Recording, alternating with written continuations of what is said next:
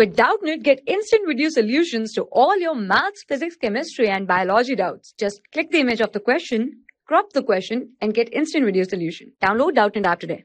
Hello everyone, in this video we are going to see this question that the first and second dissociation constant of a weak dibasic dibasic acid and the dibasic acid is given as BOH whole twice and the first and second dissociation constant as 1 into 10 to the power minus 7 and 1.3 into 10 to the power minus 14 and we have to approximate the pH value if the 0.1 molar solution of the base is taken.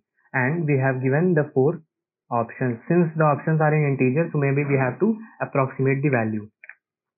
So if we proceed with our answer then first of all the dibasic acid. What is this first and second dissociation constant and how it is uh, got.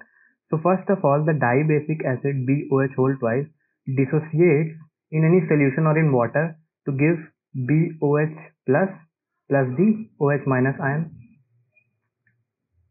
Now this diacidic base again dissociates to give BOH plus and it dissociates to B plus 2 plus OH minus again. So these are the two dissociations of this triacidic base.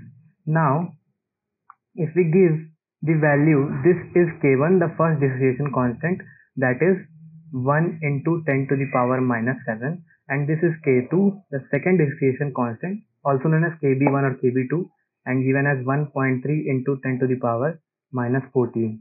Now, if we proceed further, then it is given that for 0.1 molar solution, 0.1 molar solution. In these cases, the pH value for di diacidic base or dibasic acid, it is given as pK1 plus pK2 upon 2. That is the mean of the mean of the two dissociations. If it was three dissociation, then we have to take the mean of three.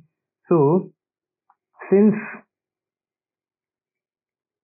pK is given as minus log k and we know the dissociation constants for both the uh, for both the reactions so we can put the values we will get that pH is equals to minus log of K1 that is 10 to the power minus 7 that will be minus of minus 7 then plus we have 1.3 into 10 to the power minus 14 so this minus 14 will be given as 14 and then minus of log of 1.3 divided by 2. So on solving, we get that pH value comes out to be 10.44 and which can be approximated as 10. So pH value is approximately equal to 10. Now if we see the options, then option number 1 says 10 and this is the correct option. Thank you. For class 6 to 12, IIT JEE and NEET level. Trusted by more than 5 crore students. Download Doubtnut app today.